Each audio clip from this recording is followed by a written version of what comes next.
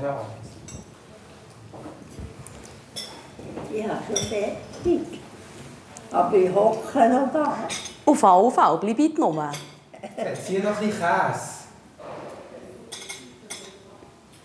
Und doch kann ich Käse nehmen. Du darfst. Ich, ich weiß nicht, ich kann gar nicht. Es geht noch gemächlich zu und her in der Küche der Demenzwohngemeinschaft. Wo es nötig ist, helfen Monika Schär und Fabrice Brunner beim Zmorgen. Ganz. Ruhig wie heute ist es aber nicht immer. Das ist ein Kaffee. Manchmal haben wir Tage, wo die Bewohner schon, wenn wir am 7. in der Dienst anfangen, schon drei Leute am Morgenessen sind. Und es gibt Tage wie heute, wo eher so ein bisschen, äh, die Leute lieber länger noch bleiben liegen, die noch nicht so aufmögen. Und dann gibt es, dass es so ruhig ist um diese Zeit. Aber das heisst, es gibt nicht irgendwie am Morgen einen Tag wach, wo alle aufstehen müssen, sondern es kann jeder machen, wie er will.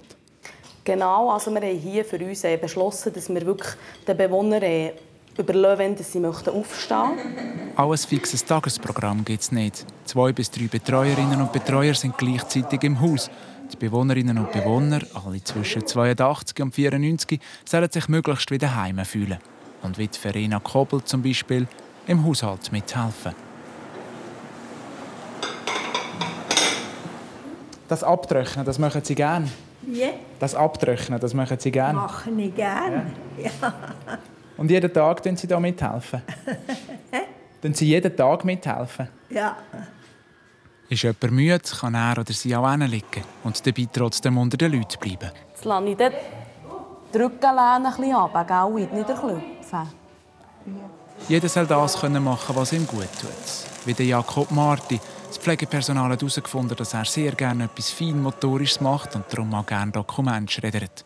Etwas, das nur dank dem kleinen Rahmen so möglich sei, ist die Wohngruppenleiterin überzeugt. Ja, ich denke, wenn man acht Bewohner hat, kann man sich viel mehr auf die acht Leute konzentrieren. Wir haben sicher Zeit, ja, sie auch zu beobachten, wie sie sich im Alltag ja, geben, was sie eben für Interessen haben. Durch das haben wir mehr eine Chance, eben, irgendetwas für sie herauszufinden, eine Aktivität, die sie einfach gerne machen, als wenn man 20 Bewohner, 25 Bewohner auf einer Abteilung, Wohngruppe hat, ja, wo das halt mehr wegfällt, weil man einfach ja, so mit vielen Leuten konfrontiert ist. Fidira, fidira, la la la la, fidiri, fidira. Die Betreuung der acht Bewohnerinnen und Bewohner ist also individuell, dafür auch aufwendiger. Betrieben wird die Demenzwohngemeinschaft vom örtlichen Alters- und Pflegeheim gerade nebenzu. Für die Bewohner kostet Wohnen in der WG gleich viel, wie wenn sie im Pflegeheim wären. Rund 5'500 Franken im Monat. Genaue Zahlen, was der Betrieb effektiv kostet, haben die Verantwortlichen nach fünf Monaten noch nicht.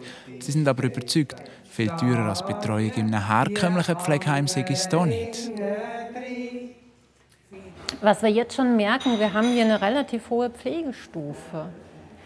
Ähm, und haben jetzt gemessen an dem nicht so viel mehr Personal. Was aber so das Geheimnis, glaube ich, ist, die Pflegenden übernehmen ja auch Hauswirtschaftstätigkeiten. Wir haben ganz kurze Wege. Also im, im Haus drüben, da läuft man ja schon ein paar Kilometer am Tag immer hin und her. Das fällt wie weg. Vor dem Mittag gibt es noch Besuch. Der Michel Wüemann kommt bei seiner Mutter vorbei. Hallo. Seine Mutter. Kennst du mich? Jemand ganz bekannt. Gell. Ja, es ist viel los heute, gell? Ich bin der Michel. Sally, bist schon ein bisschen Der reformierte Pfarrer sagt, seiner Mutter habe der Umzug in die Demenzwohngruppe gut getan. Dass sie mehr uns eben wieder kennt hat, dass sie hier wohl ist, entspannter ist und nicht, nicht gerne gerade fragt, äh, du, wo bin ich daheim, wo komme ich jetzt mit dir, Gell, ich komme mit dir jetzt und so. Äh, das war manchmal fast quälend, gewesen, wenn, wir gegangen sind, sie mit uns hat kommen. Und hier äh, sagt sie das nicht mehr. Und man, spürt einfach, äh, sie hat da ein, bisschen ein Daheim gefunden in dieser Gemeinschaft hier. Die Erfahrungen in der Demenz-WG in Hasli-Rüegsau sind bis jetzt also fast nur positiv.